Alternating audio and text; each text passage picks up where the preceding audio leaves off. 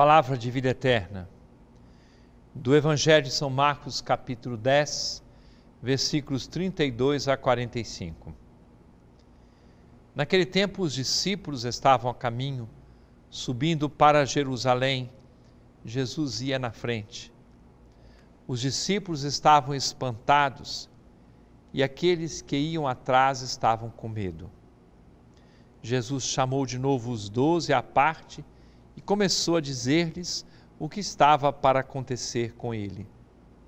Eis que estamos subindo para Jerusalém, e o filho do homem vai ser entregue aos sumos sacerdotes e aos doutores da lei.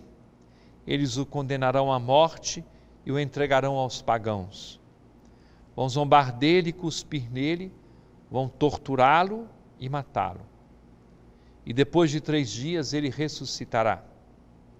Tiago e João, filhos de Zebedeu, foram a Jesus e lhe disseram: Mestre, queremos que faças por nós o que vamos pedir.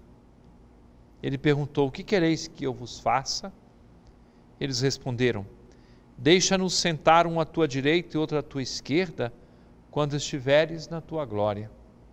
Jesus então lhes disse: Vós não sabeis o que pedis. Por acaso Podeis beber o cálice que eu vou beber? Podeis ser batizados com o batismo com que vou ser batizado? Eles responderam: Podemos. E ele lhes disse: Vós bebereis o cálice que eu devo beber, e sereis batizados com o batismo com que devo ser batizado. Mas não depende de mim conceder o lugar à minha direita ou à minha esquerda, é para aqueles a quem foi reservado.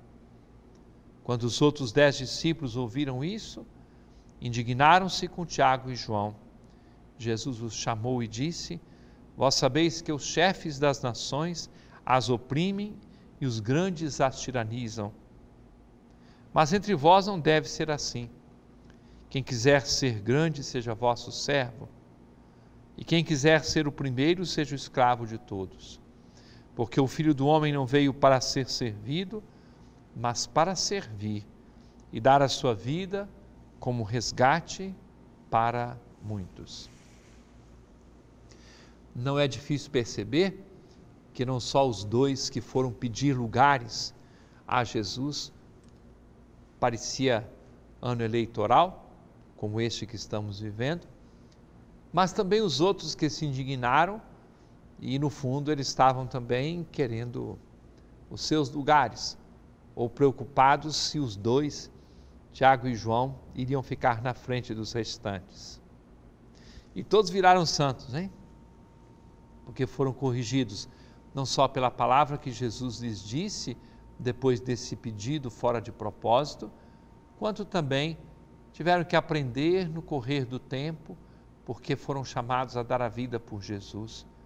E a história que se seguiu à ressurreição e a ascensão de Jesus e a vinda do Espírito Santo, mostrou como aqueles homens, ainda que muito limitados e frágeis, eles começaram a viver uma vida diferente e o Espírito Santo os conduziu, inclusive, ao martírio, a entregar a sua vida derramando sangue por causa de nosso Senhor Jesus Cristo.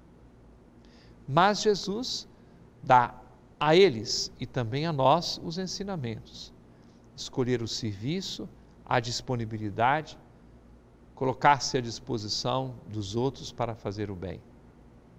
É palavra de vida eterna.